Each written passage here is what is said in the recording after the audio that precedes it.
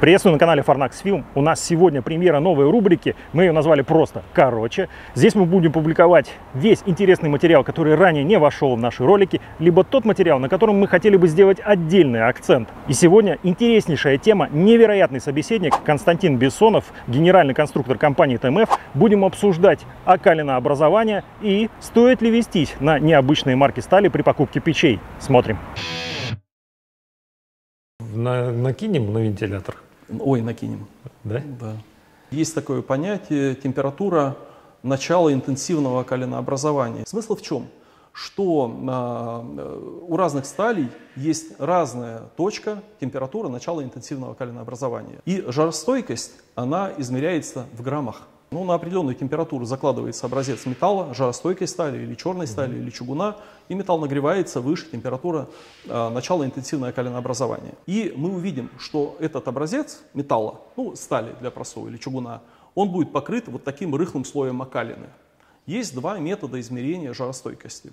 Либо мы взвешиваем заранее этот образец холодный, затем можно либо взвесить его с окалиной, либо оббить окалину и взвесить вот этот оставшийся образец без окалины, мы там увидим на весах интересное преобразование, что образец с окалиной стал тяжелее, чем мы его туда клали в печку, и без окалины он стал легче, за счет чего увеличивается масса э, вот этого образца или печки, которая угу, эксплуатируется угу. в реальных условиях, за счет кислорода, который вступил в химическую реакцию с железом. Вот это окалина, это разные виды оксида железа, и вот речь идет примерно об этом когда вы накаливаете изделие из металла выше температуры начала интенсивного калинообразования, да, кислород воздуха вступает в реакцию с железом и из воздуха оказывается химически связанным с молекулами железа. Но не перекаливайте печи до э, температуры начала интенсивного калинообразования. Для черных стали это где-то 350 э, градусов, 400 для жаростойких стали это от 750 там, до 1100.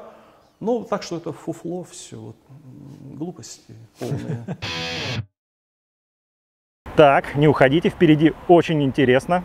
Продолжение темы окалинообразования и сжигания кислорода. Давайте перейдем э, вот непосредственно к металлам. В чем разница между обычной конструкционной сталью и невероятно крутой, разрекламированной многими производителями стали 09 G2S? Вот прям котловая же сталь-то. Для меня это является такой загадкой. Я с удивлением смотрю, как многие производители, в основном банных печей, говорят, что наши печи изготовлены из стали 09 G2S. По материаловедению у меня тоже, по-моему, пятерка была в институте. Если посмотреть диплом где-то, пыль с него сдуть, скорее всего, там пятерка обнаружится. Да? Вот на кафедре материаловедения много чего рассказывали в НЭТе, ныне НГТУ. Рынок жесткий, надо конкурировать. Да? И когда человек-покупатель приходит в магазин, говорят, из чего? Из черняхи. Ну, как-то грустно, да, а это что, жаростойкой? Ну, вот что-то очень дорого, да. И поэтому надо отдать должное предпринимательскому духу наших вот коллег-конкурентов. Они изобрели такую очень хорошую штуку, вот продвигать сталь 09 G2S. Для неискушенного обывателя, который пришел в печку, да, ну, чернуха звучит как-то так себе, да, а вот тот же самый обыватель, которому говоришь, 0,8Х18 или 0,9 Г2С, но это практически равновесные такие, угу. умные звучания, да? Но покажите мне хоть кто-нибудь из тех, кто вот сейчас на меня гневно набросится, э, не знаю, с комментариями, что у стали 0,9 Г2С есть какие-то особенные жаростойкие свойства. Их там нет.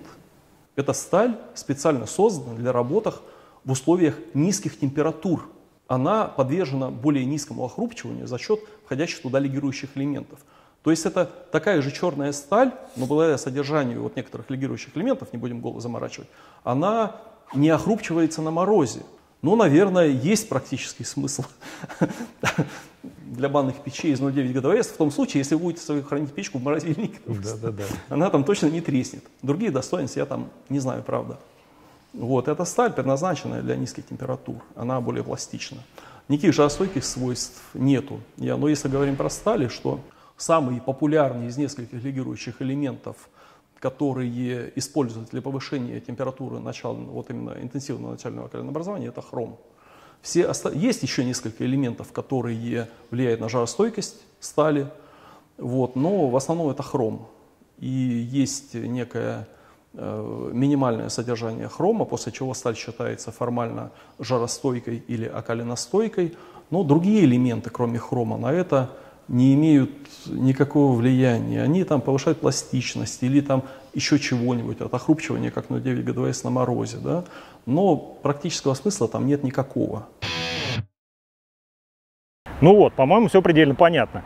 Если вы с чем-то не согласны или есть что добавить, обязательно пишите к нам в комментариях. Заглядывайте почаще в наши оставшиеся социальные сети, там мы тоже обсуждаем интересные темы. Ну и если вы еще не подписались на канал, самое время сделать это и поставить значок уведомления, чтобы не пропустить самый сок, самое интересное. Ну а мы с вами прощаемся на сегодня. Счастливо!